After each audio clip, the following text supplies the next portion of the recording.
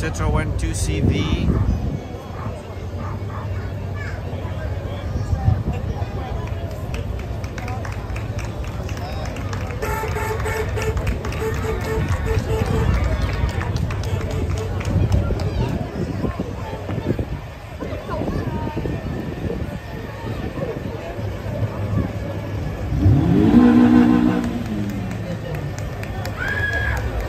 This will be another 2CV at a later model. It has, has to be from the mid 80s.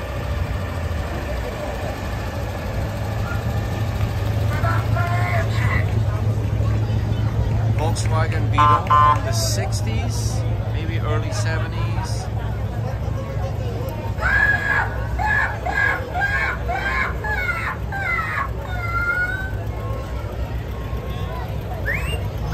This is a Suzuki Carry.